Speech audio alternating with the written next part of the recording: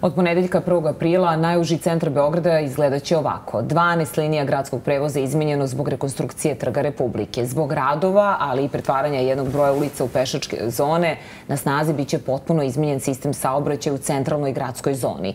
Za automobile biće zatvoren potez od Terazija, tačnije od Prizemske ulice i hotela Balkan, pa sve do Vasine ulice i Narodnog pozorišta. Dakle, deo Terazija, Kolarčeva, Trg Republike, Malopače, Francuske do Braća Jugovića, Vasine do Dositeve, i makedonske do raskrsnice kod Doma omladine. Sigurno sam da oni koji izvode radove su na njih vrlo ponosni, ali sve to će značajno uticati na život u najužem centru grada. Svoj glas protiv ovih odluka podigla inicijativa Pešaci nisu maratonci, moji gosti ovoga jutra, Đorđe Mikitić iz inicijative Pešaci nisu maratonci i Dragoljub Bakić, arhitekta. Dobro jutro, dobrodošli u novi dan. Dobro jutro. Đorđe, koliko vremena vam je trebalo da stignete od centra Beograda do ovde, do N1 televizije. Pa ne, ja sam srećen pozajmio oče moped, pa sam onda brzo se provukao. Brže se stigli. Kako je izgledao od jučerašnjeg dana do danas? Mhm. Juče su ljudi bili šokirani, pošto po starom pravilu kod nas niko ništa nije bio obavešten. To su malo naravno i građani krivi, jer stvarno ih je zateklo, ali i način na koji se radi, to je onako odjednom ovaj, preko noći. Pomenuo bi jednog mog prijatelja koji u Topličnom vencu ima svoju malu firmu. On je, samo što je dobio bebu, lepo mu je radio posao i samo jedan dan je zatekao bagere ispred ove, svoje radnje. Mora sad to da obustavi, da traži novi lokal, novo sve, tako da to je... Bez ikakvog obaveštenja, dakle... Pa bilo je, znate kako, koji, koji mi sad ovdje što mi ne znamo šta se radi. Mi neko kaže nešto, u jednim novinama jedno, na tabli piše drugo, to je... Pa dobro, to su, dakle, kako se ljudi informišu, ali ne po... I kako se ljudi informišu i, i sami ste rekli uh juče, mislim, na, vašim vestima, to su disonantni tonovi i same gradske uprave. A mislim da ne govorimo o tome šta piše na tabli, a da li je to istina, kad počinju radovi, kad se završavaju, koji su radovi u pitanju, da li će biti saobraćaj, neće biti saobraćaj. Ali, evo, pre nego što uključimo našu reporterku, recite mi, protiv čega se bori se vaša inicijativa Pešaci nisu maratonci? Pa mi, ja bih volio kažem, mi se za nešto borimo, u stvari. Dobro. Mi, mi smo apsolutno protiv uh, širenja pešačke zone dok se ne reši bilo kakav javni saobraćaj koji to može da iznese. To pre svega znači metro. Znači, 70. godina je napravljena ta studija, zaista, koja govori o širenju pešačkih zona, od koji se odustalo zato što Beograd nema metro. Mi danas sa ovim postojećim javnim saobraćajem i saobraćajem ovaj, po ulicama mi ne možemo da izdržimo nikako širenje pešačke zone. A ako se bude još blokirao i širilo na sve ovo što, što pokušavaju da urade, to onda će stvarno napraviti jedan ozbiljan geto od centra grada i ne samo građani koji tu žive, koji sad i da ste najzdraviji na svetu, to to je vrlo nelagodno, a kamo li ako ste majka stroje dece ili polupokretni ili imate firmu, dostavno vozila, to će biti apsolutno nemoguće. A da ne govorim u drugom delu uh, tereta, koji preuzimaju bočne ulice za saobraćaj, o čemu se očigledno nije, nije mislilo, tako da to izgleda... Evo da pitamo i stručnjaka. Dakle, šta vi mislite, gospodin Bakić, o, o zatvaranju najužeg centra grada za saobraćaj i pretvaranje pojedinih ulica u pešačku zonu? Pa to je samo još jedna bitka koju ovo vlast vodi protiv svojih građana i protiv struke. To, do, to gledamo već sedam godina, kako se Beograd razara. To se sistematski razara i brutalno se krši javni interes. Pa je tako došlo, došlo i do Beograd na vodi, znači ta bitka vlast je osvojila, pa je osvojila ušći i betonirala ga, pa je osvojila i Biliće venac i Kosovšće venac i sad je na redu Toplični venac i on je osvojen. Znači to su bitke koje ova vlast vodi protiv svojih građana. Oni su e, pre sedam godina još su bili privremena uprava kada su doneli odluku uniš, ovaj, poništava se generalno urbanički plan Beograda, koji je važio do 21. godine. Ništa mu nije falilo. Tada se u njemu piše kako se, u kojim pravcima se razvija Beograd, gde je stanovanje, gde je... Koja je visina za građevina. Je. Dakle, to je plan koji, koji je... Koji je to plan u kome vi pišete? To je generalno plan koji je mhm. ustav, urbanistički ustav. Početkom 2000, ja mislim da je donet tako. Početkom 2000, taj novi generalni urbanistički. On je donet 2003. važi do 2091 i nije mu ništa falilo. On je donet konsenzusom građani, struka, uprava. Novo tim uprava. planom, šta je predviđeno? Sve je predviđeno što treba se predviđeno. Nije predviđeno širenje. Pre nije predviđeno širenje. Generalni plan rešava namenu i kako se saobraćeno dolazi do te namene. I ništa više. Onda e, planovi niže greda rešavaju ono dalje. Oni su prvo to poništili da bi mogli da sprovedu Beograd na vodi. I taj Beograd na vodi, kao što vidimo, Sami su rekli kad su otvarali prvu zgradu kako su dobili prvu bitku na vodi. Svakim čas dobili su prvu bitku. Dobili su sve bitke do sada. Sve bitke do sada su dobili. I sa železnicom su se izborili, i sa železničkom stanicom su se izborili. Sve su bitke dobili, Lalim Vera. Sad je došlo na red istorijsko jezgro Beograda. Sad je došlo na red Vasina, Studenski trg i Tvrđava. To mora da se brani telima. Građani moraju da brane telima. Ako treba telima, telima. Dobro, evo, nastavit ćemo razgovor. Mi idemo sad uživo do centra Beograda da proverimo i kakva je situacija ovoga jutra. Tamo je naša reporterka Nedo Kurjački. Nedo, eh, kakva je situacija u saobraću danas zbog rekonstrukcije centra grada? Minja, e, ja se nalazim na početku ulice e, Despota Stefana. Ovde je znatno bolja situacija nego što je to bilo juče e, u ovo isto vreme. Naime, juče je ovde bio pravi saobraćeni čep i ova kolona vozila koju vidite sada iza mene stoji zbog toga što je zatvoren semafor i znatno je jači saobraćaj, naravno iz pravca Pančevačkog mosta ka centru Beograda nego sa ove druge strane, odnosno iz drugog smera. Međutim, čim se semafor semafor otvori, čim se upali zeleno svetlo, ta kolona prolazi dalje. E, glavni razlog tome je što je znatno manja gužva e, u ulicama e, na koje izlazi bulevar Despota Stefana u Dečanskoj i ulici Braća Jugovića nego što je to juče bio slučaj i sada vozila mogu normalno da prolaze dalje. Ono što je također zanimljivo je da su juče na svim ovim punktovima na kojima se ulice oko Trga Republike zatvaraju za saobraćaj, bili saobraćeni policajci koji su usmeravali vozile, međutim E, danas e, ja nisam vidjela e, da je to i danas praksa, danas nema saobraćene policije, ali se saobraćaj odvija znatno lakše nego juče.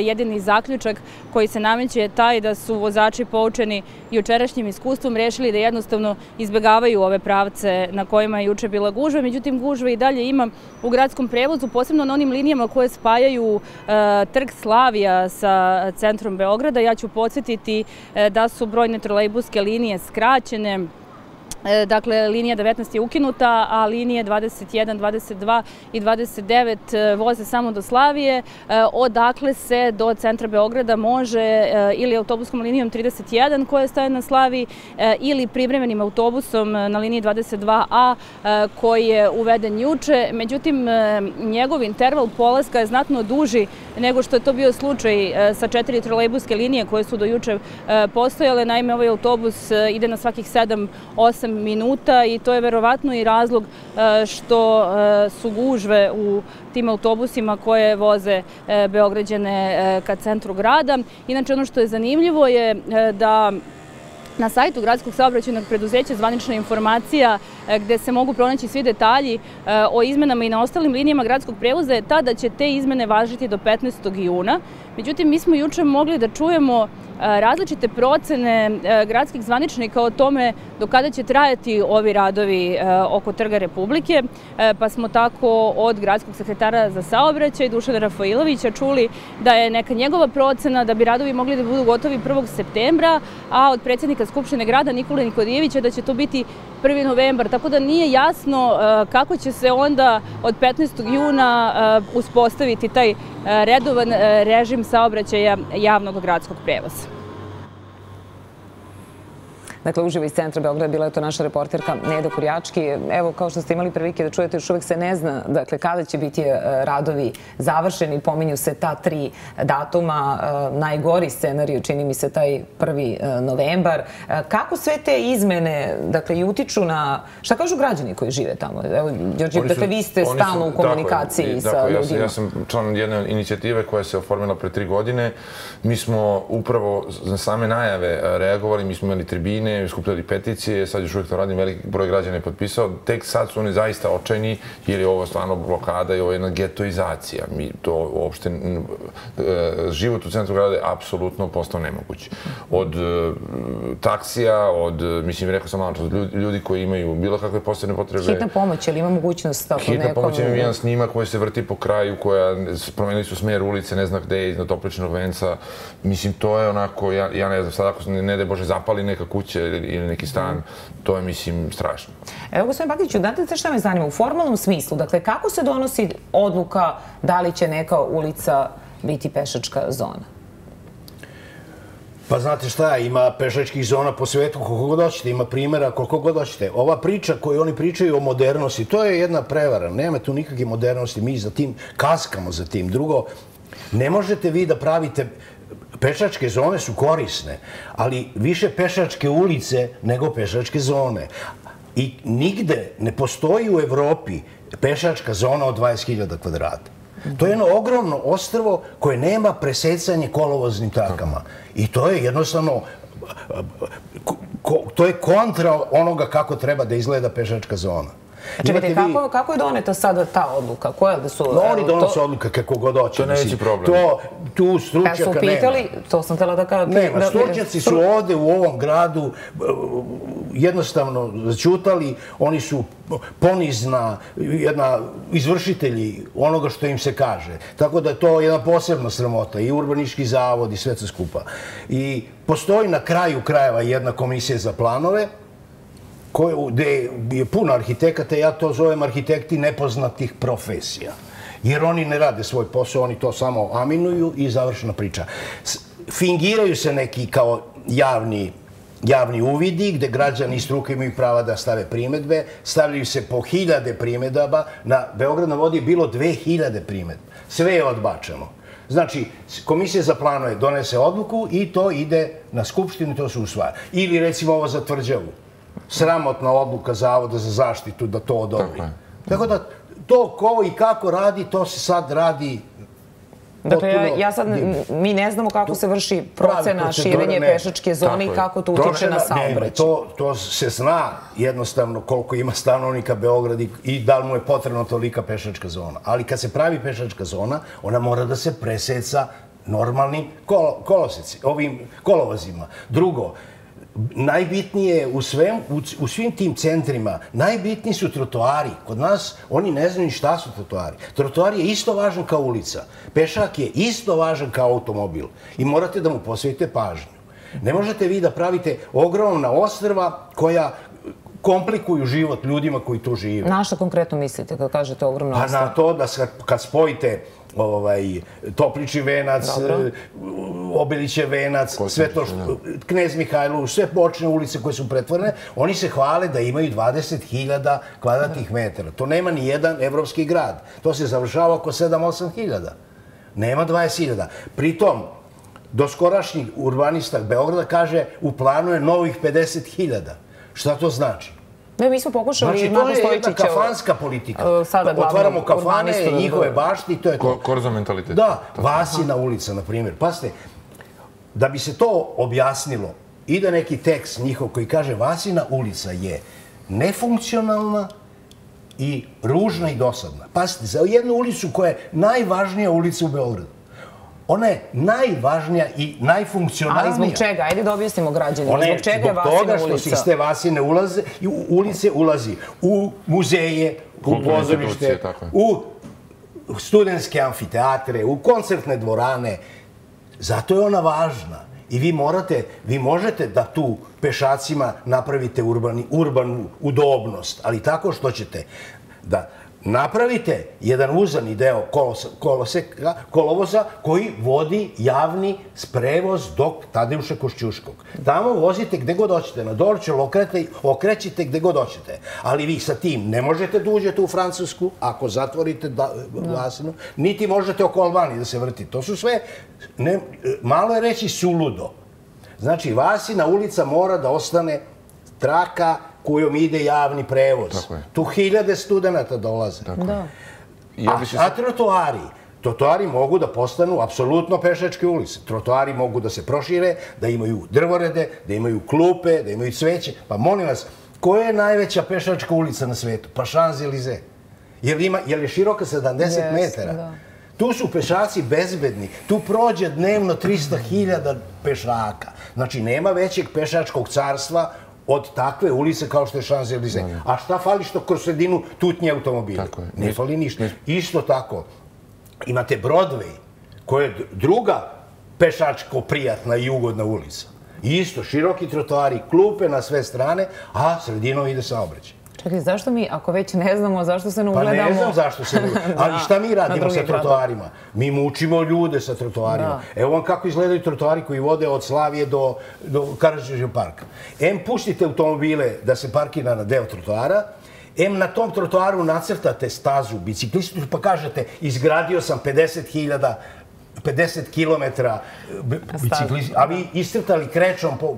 I onda nabijete pešake na 70 cm do kuća gde oni ne mogu ni da se mimo iđu. I onda oni postanu nesrećni. I u ovom gradu se su ljudi počeli da budu nesrećni. I, nesrećni, i nervozni. I vrlo agresivni. Da, i agresivni. Vi kad pravite jedan haotičan grad, vi stvarate haotičnu atmosferu, u njoj žive haotični ljudi i postaju agresivni. To vidite na svakom koraku. I u autobusu, na ulici, u radnji, svuda. Đorđe, hteli ste nešto da dodate? Da, htio sam da dodam da, recimo, hvalio se ovaj, gradonačelnik kako bio u Beču, kako su tamo uređene, ili u, u Barceloni. Uh, Marija Hilfestrasse u Beču, kroz nju prolazi saobraćaj, može proći policija, također ukrstana saobraćajem. Uh, La Rambla u, u Barceloni također, znači ona je po sredini pešačka sa strane, ide saobraćaj. Drugo, oba ta grada imaju metro. Mislim, da, to mora, mislim, ovo je stvarno pitanje nauke, pitanje struke. Mi smo, ja sam ovdje sad uskočio zato što ja kad izađem iz stana, ljudi se tuku, zato što je paka oko, oko, oko tog, ja sam na samom obodu, to kako kažem, getoa. Mislim, e, drugo, postoji za tu upravo Vasinu, koja je vrlo bitna ulica, postoji jedan projekat da se te trole ne okreću tamo gde se okreću do sad na Studentskom, nego da se produže, da se spuste dole nizbrdo na Dorćol. Eto, to bi možda bilo neko rešenje. Ali to sad, mi sad sedimo ovdje u studiju, sad treba da dajemo nekoj stručnoj komisiji Pa dobro, ali evo, će neko čuti Pa mislim, da, ali upravo to je najveći problem, što mi ne znamo nit kako se to radi, ni ko donosi tu odluku, ni na osnovu čega se donosi te odluke, nego mi kao sad zainteresovani građani jurimo neke, između redova, neke e, izjave e, novinara. A ste se vi zvanično obraćali nekom iz grada? Mislim, da smo obraćali zvanično, ulagali i žalbe i primetbe. Molim, tek posle tri godine jednoj jedno, ovaj, članice, da kažem, e, inicijative je dopušteno da ode u sekretarija za saobraćaj, da pogledaju te, te planove to, to je sve crveno, to će sve biti pešačke zone, to je potpuno haos. Znači, mi kao građani, uopšte ne da nismo pitani, nego nemamo ni način kako da se uopšte informišemo šta će biti. Da bi uopšte vi, ne znam, mogli da planirate posao, da će živite tu neće. Mislim, sijaset problema. Problema, koji... da, ali evo, mi imamo isto vreme, dakle, i rekonstrukciju uh, Trga Republike i nove pešačke zone. Dakle, da li je trebalo i o tome voditi računa kako se sprovodi, da ne bude sve u isto vreme, dakle da imamo i rekonstrukciju Trga Republike i sada zatvaranje ovih ulica. Pa naravno da je trebalo. Zašto je uopšte rekonstruišen Trg Republike? Šta mu je falilo? Nije mu falilo ništa. Tako je. Sem što možda neko proizvodi neke ploče, pa sad taj burazer treba to da ugradi tu. Ne, potpuno je neverovatno zašto se Trg Republike rekonstruisao. Ali udariti na Vasinu i na taj studentski trg, pasite to, moram da vam u dve rečenice kažem prošlost. Mi smo Beograd je imao sreću da ima kneza Mihajla i Emilijana Josimovića, koji su samo 14 godina posle Napolona III. i Žorža Osmana probio ulice kroz staro gradsko jezgo. Samo 14 godina posle Pariza. Vidite šta je napravio Pariz i kako je napravio svoje bulevare. Samo 14 godina posle toga Josimović postavlja ovu ortogonalnu mrežu ulica koju mi sad imamo. I to počinje sa Vasinom ulicom.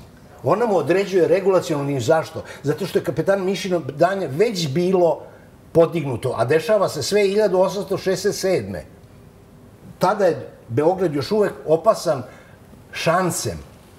Imao je, bio je šanac od 6 metra pun vode.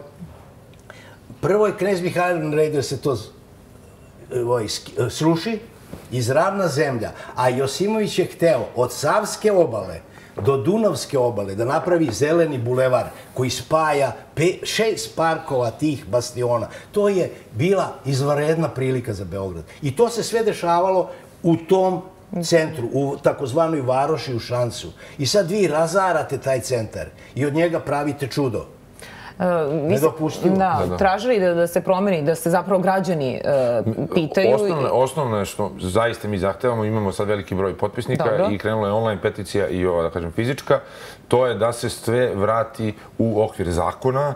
Znači, ovo je suprotno generalnom urbanističkom planu, znači moramo da vratimo zaustavimo radove koji su sumanuti. Je li moguće? Dakle, zaista verujete da će... Pa što kaže gospodin, znači na kraju mi moramo telima to da branimo. Zato što, zamislite studentski trg, da vi znate koje arheološko nalaziš ispod toga. Znači, to, to, to su delovi Singidunuma koji mi ne, ne znamo, to nikad nije. I sad treba neke kineske mašine tamo da prave neku, e, kako zove, garažu, to je, mislim, strašno. Mi, mi stvarno ne znamo šta je to. Znači, osnovno je što stražimo da se zaustave radovi, da se vrati na stručnu i javnu raspravu, ne ja da kažem šta treba da se radi. Znači, struka i nauka da kažu šta treba da se radi, ako treba da se raspiše referendum, da građani kaže da li hoće da žive u getu pešačkom ili neće, znači, to mora da se uradi. I Kako pozivam... bi bila i zainteresovanost građana ukoliko bi se organizovao referendum? Kako po pomiriti i mišljenje građanja i struku, recimo? Pa kako da vam kažem, sada su građani e, zainteresovani zato što vidi da im život postao nemoguć. Do pre par dana ili do pre tri godine kad su oni to najavili, to mi nismo znali.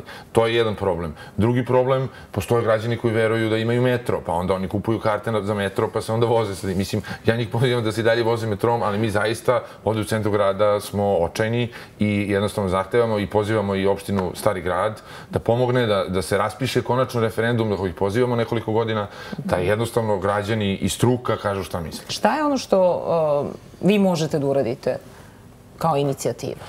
Kako da vam kažem, zavisi... Dakle, skupljate potpise, šta je ono što je Zavisi, evo recimo, u, u malom parku Vojvode Vuk na Topličnom Dobro, tamo ste imali protest. tamo smo imali protest, a tamo i, i ono, Toplični venac i to drveće koje, koje ste vidjeli tu i dalje stoji zato što smo mi istrčali onog momenta kad je trebalo, kad su došli sa, sa testerama da seku. Znači, sumano, mi e, branimo zelenilo od gradskog zelenila. Mi tražimo saobraćaj od gradskog saobraćajnog preduzeća. Mislim, to su absurdne stvari. Mi molimo institucije koje mi plaćamo da rade svoj posao u interesu građana, a ne u interesu nekog krupnog kapitala koji sad, ko zna kojim šemama oni planiraju i tako da. Mislim, to je... Kao argument, vi ste ovde sad nabrojali neke, ali imali još nekih e, argumenta zašto ne treba pretvarati uži centar grada u pešačku zonu? Kad bi vas pitali sada neko iz grada, dakle, šta biste im vi rekli? Pa to više nije potrebno. Mi imamo i sad više te pešačke zone nego što je potrebno. To više nije potrebno, sve ako se nema neka namera da sad to poštanu sve kafanske bašte. Tako je. Ako je to namera... Da postane izletište, zapravo centar grada. Tu struka ne može da uradi više ništa. Ova naša akademija arhitekture, koja je najkompetentnija da tu nešto kaže, mi se četiri godina borimo, pet godina, Šta nismo radili, petici i sve? Ništa. Mi smo, i struka se ignoriše. Mi više ne možemo da uradimo ništa, mi smo kapitulirali. Može samo građani. Građani mogu da se udruže i da brane ode im život, prođe život, pa ste mi 30 godina, šta radimo 30 godina? Vrtimo se u krug. Ja bih bio presesjan da mogu kažem, evo, ova vlast je uradila nešto korisno. A gondola? Oni, oni moraju... Oće, oće li, šta mislite o tome?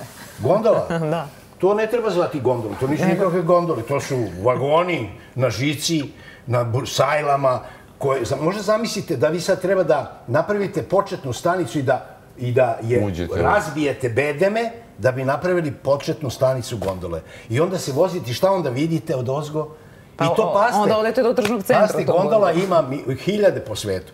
Ali one savlađuju neke visine. Oni imaju neke panorame koje gledaju. Šta? Ovo je, znate koliko je visine? Pa obale je 75 metara nadmorske visine, a tamo je 105 ili koliko već, 120. Znači vi se penjete neki 40 metara.